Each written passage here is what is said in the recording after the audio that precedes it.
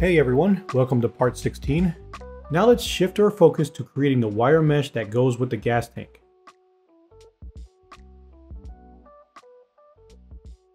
To keep things clean, we'll start with a new tool.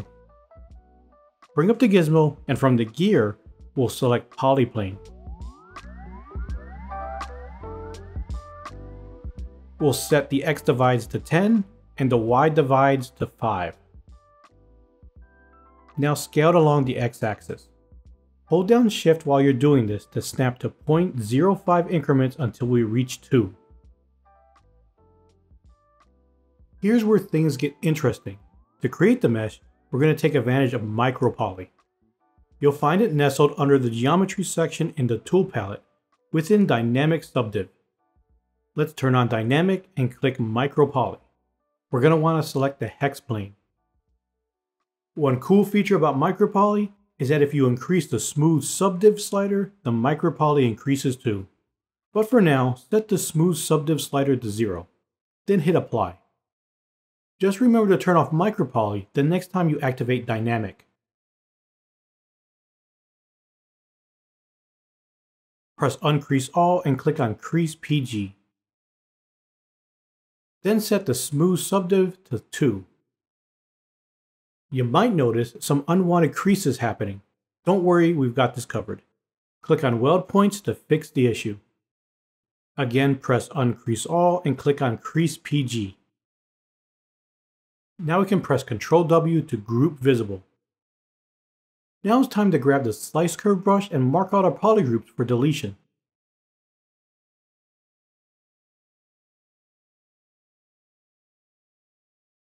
Go ahead and press close holes and QC50. Finally set the smooth subdivision to 4 and the crease level to 2. Since we already tackled one wire mesh, we're in a good place to start on the mesh for the front intake too. Let's start with a new tool. Bring up the gizmo and from the gear menu, let's choose polyplane. Now we're going to do a x divide of 20 and a y divide of 10. Just like before, scaled on the x-axis. Remember to hold shift to snap it to 0.05 increments until we reach 2. Next up, let's select Insert Point. A handy tip to tag all the polygons at once is to click on Group as Dynamesh Sub, which is located in the tool palette under Polygroups. Now let's press Merge Tris. Then we could delete the borders of the plane.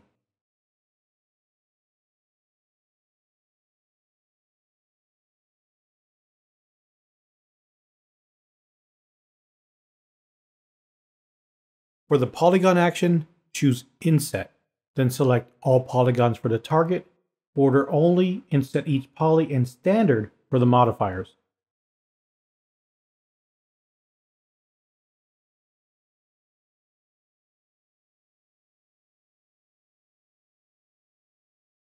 Then go ahead and delete the border faces.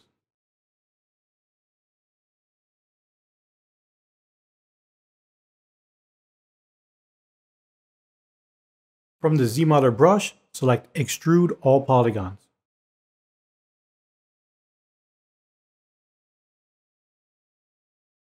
Press Ctrl W to group visible and turn on Dynamic. Set the Q grid to 3 and the smooth subdivision to 1. Go ahead and turn off bevel and turn on chamfer. Let's dial in the coverage to 0.003.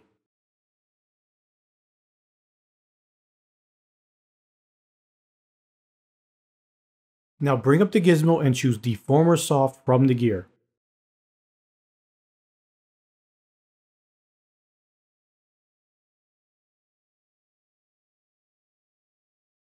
The next thing we got to do on our to-do list is to create the ZBrush logo to place in the front of the motorcycle. Navigate over to the lightbox and find the Spotlight tab. From there, click on Spotlight Primitives. Press the Z key to toggle on the Spotlight dial. Bring the logo over to the star and scale it up. Click on the Snapshot 3D option, the little camera icon, to transform that alpha into 3D.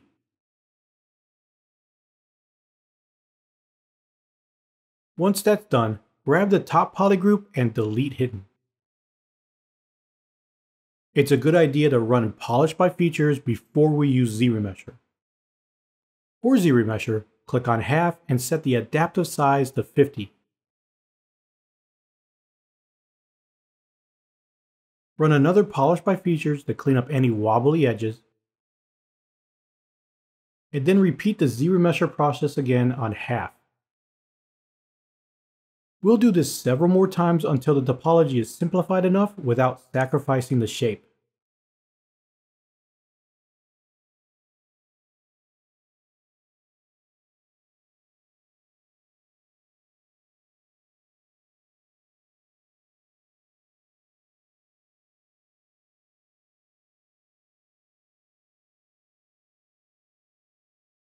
For the final ZRemesher, press same and run it one more time.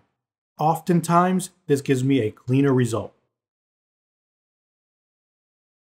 Now let's extrude all polygons.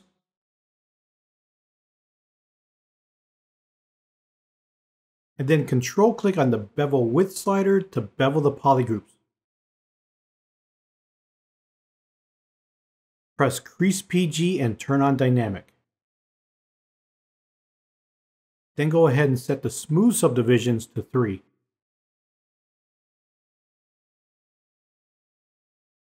Let's go ahead and press B to open up the brush menu, and on the bottom, select Create Insert Mesh. When a new window pops up, click on New. Let's test it out by dragging one out. Now we can switch back to our main working tool and select the front fairing.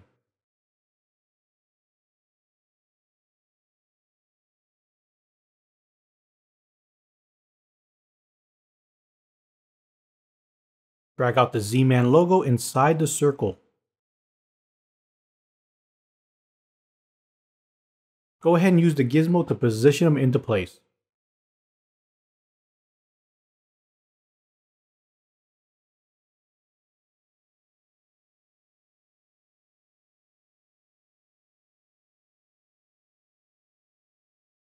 Invert the mask and split unmasked points. Now we can rename the subtool to Z-Man logo.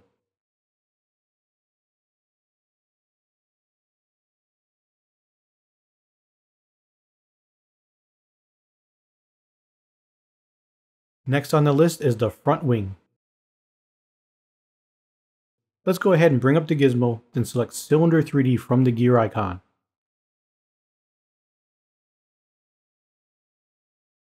Unmask the end and move it out a bit using the gizmo. Next, we'll center the gizmo and then go back to the gear icon and select Extender. Move the orange cone to extend the mesh to the length we need. Once we've got it just right, hit accept to lock it in.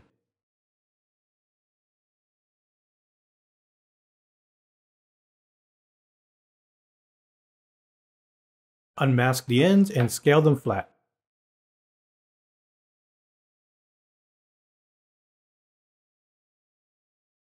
Press Ctrl W to group visible. Unmask the bottom and scale it in the Y-axis.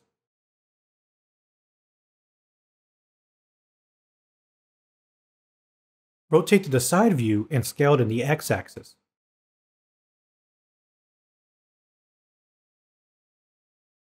Unmask the faces and extrude them using the gizmo. Mask the top points and move the bottom up until it matches our reference image. From there, rotate the view, then move the unmasked polys down a bit. Alt-click on the face to set the gizmo's orientation, then rotate it downwards.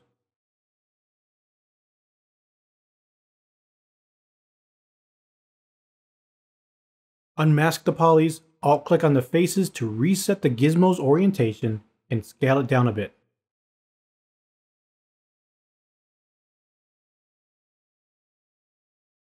Reposition the ends using the gizmo to make sure it's a better match with our reference.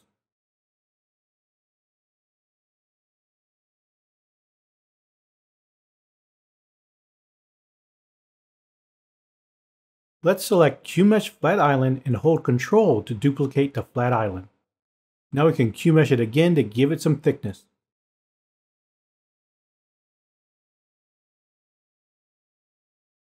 Rotate it 90 degrees and position it into place with the gizmo.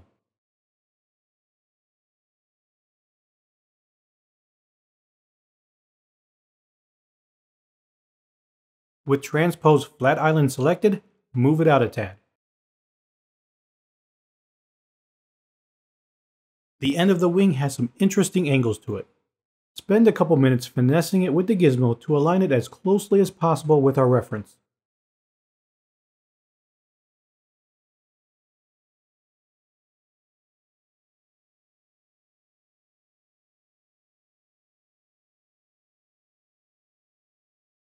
Now let's unmask the bottom and adjust the thickness.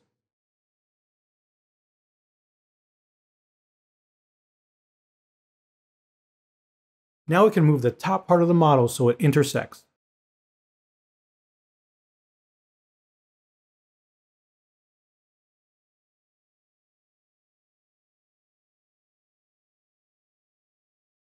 Then let's go ahead and unmask the bottom and adjust the thickness.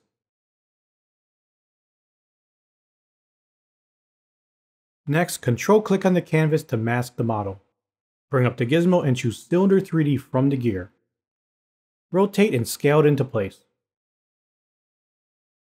So what we're doing now is getting these meshes ready to Dynamesh. Since it's a flat surface, retopology will be pretty quick. So going with the high poly approach here makes sense.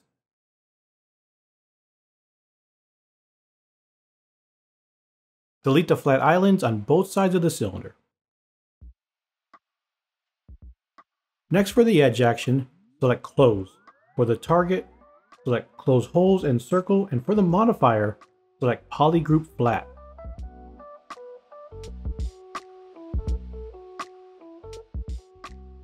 Unmask the cylinder and move it into position.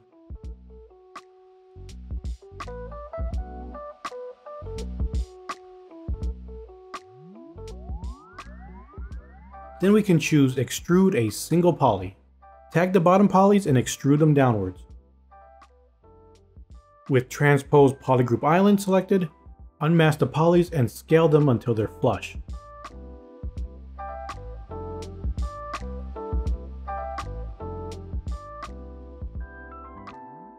Let's use the gizmo to clean things up a bit.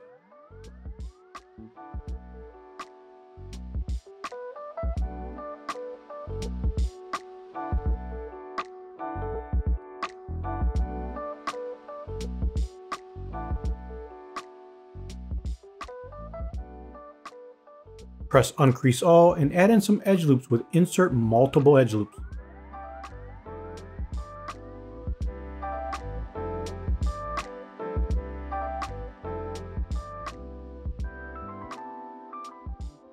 Next we can turn on dynamic and insert some supporting edge loops.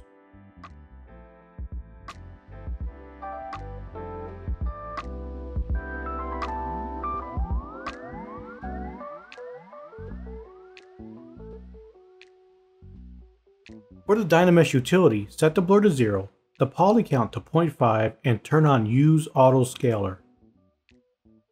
Drag the picker onto the mesh to set the resolution for Dynamesh.